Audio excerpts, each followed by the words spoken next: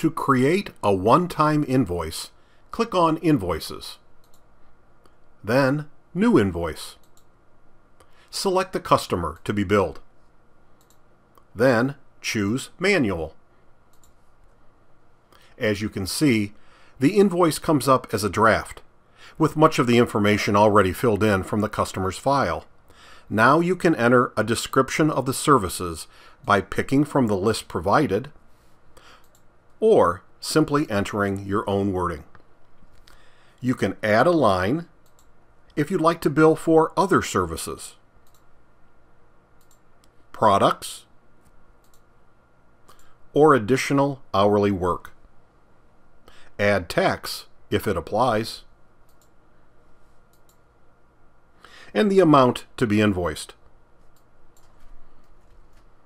The subtotal, taxes, and total will be calculated automatically. Select your payment terms. You can enter a PO number if you'd like.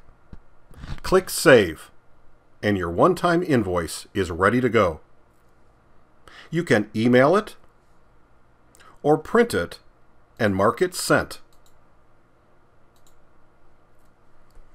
And the status changes to current.